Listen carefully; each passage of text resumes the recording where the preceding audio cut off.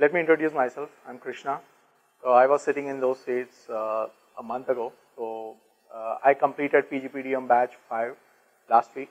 So we got our convocations and certificates last week. So I'm basically one of you. So who attended this course just before you. That's it. So why I am here today and what I am going to discuss. Uh, again, not about the title that how to find a job in analytics. It's nothing that I'm going to tell or uh, I know how to tell or something like that. But I'm here to share my experience on uh, you know uh, my job search experience, what I was facing and what kind of reality it is out there. And I am sure many of you are going to go through that. So I thought it could be helpful for uh, you know you so you can avoid making the mistakes what I have done uh, in my job search. So that's why I'm here for. And uh, yeah, again, so it's all like my personal experiences, nothing universal, and whatever I'm telling, it's not the global scenario. So whatever I'm telling, it's just my personal experiences. So uh, if I'm like, uh, which module are you guys in now? So you're in uh, completed machine learning module, you see module three, right? You're perfect. So, so how many of you already started looking for jobs or started preparing resume, or uh, you think you'll wait for great? Great, great. Actually, that's a very good sign, and uh, and that is actually right. Like you should start preparing or building your resume right from there, and uh, you don't need to wait till the course to get completed or uh, wait till your submissions and convocation to get completed. So that's exactly the way that even I followed. I started building my resume, and let me tell you, like, what are the opportunities? What's next? So this is the question that most of us face, right? What's what's next? why are we pursuing this course at the first place, right? So my intention was to do a career transformation for myself and uh, uh, you know enhance my career opportunities and uh, whatever I was pursuing, I definitely want to put into practice. So that is what I my intention of pursuing this course, was, right? So I had these options, and uh, these options are good for everyone. Like you can look for an internal project with your within your own organization if they are already doing analytics. That is a very good start or else uh, you can work as a data science freelancer. There are pretty good number of sites. Uh, many things can be Upwork or freelancer.com, so you can uh, be a data science freelancer.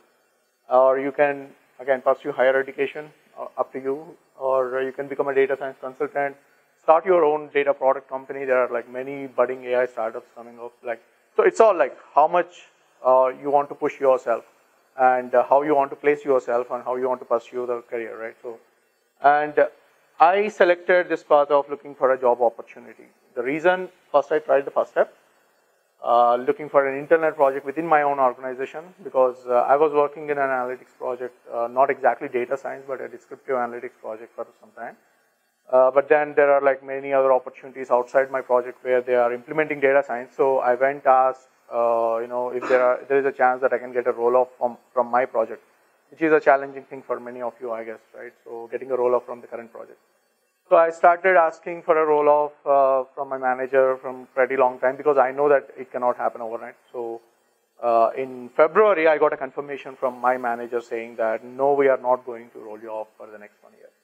So this project, whatever you are doing, it's going to be there for one year, and uh, we don't want to leave you and find another resource and all that. So you're not going to go. So that's the clarity that I got at the end of February almost. So that's when I thought I should not resort on the first step and go looking for a job out, outside because I don't want to, uh, you know, uh, leave this entire thing and do not want to practice for one more year and then start looking uh, for a data science opportunity. And it doesn't make sense because if I have to wait for one more year, all the things that whatever I'm learning will go off. Like, and if you do not put into practice, there is so much you get in a real-time uh, experience where you do not have a real-time project, but still you can pursue data science.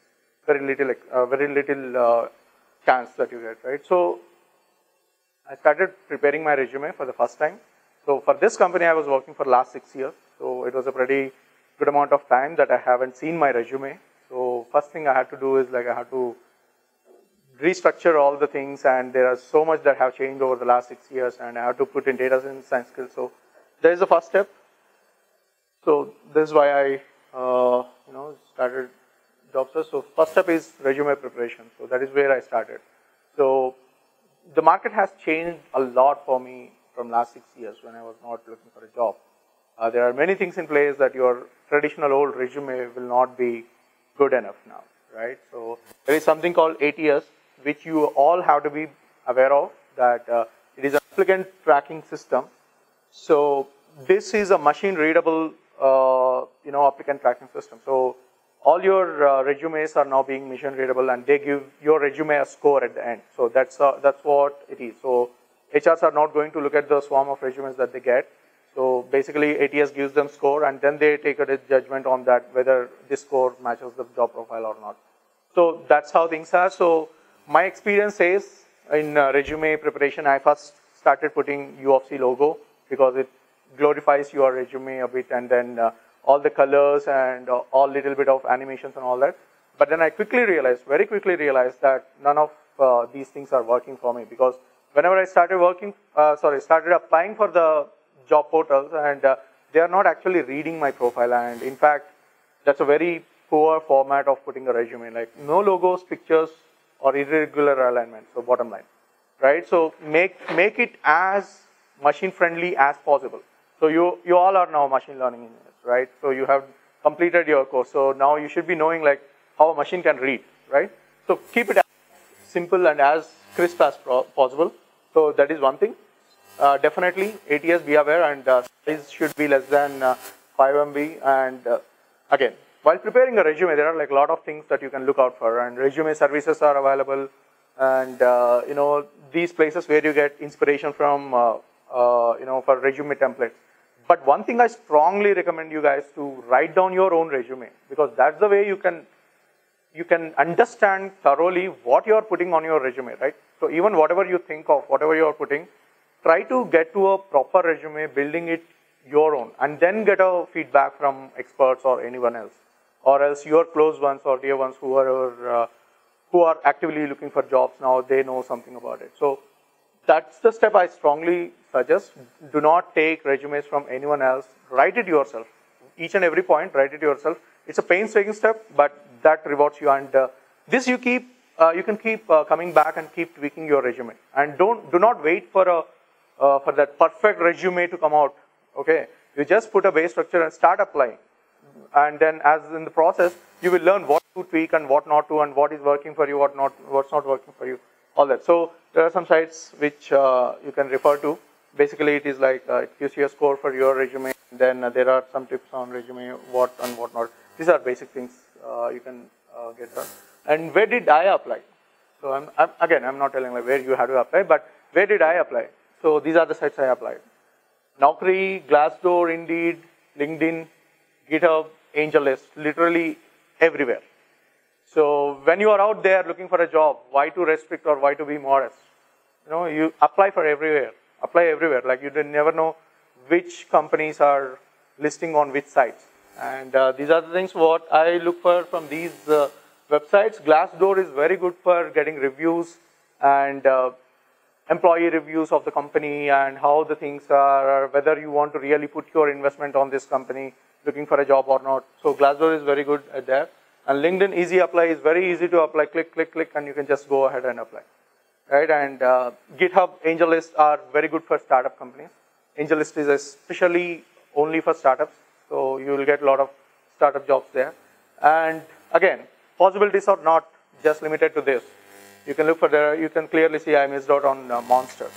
Uh, I realized that when I was preparing this slide. So I missed out on Monster clearly and uh, there are many other ways now you can work. You can work remotely.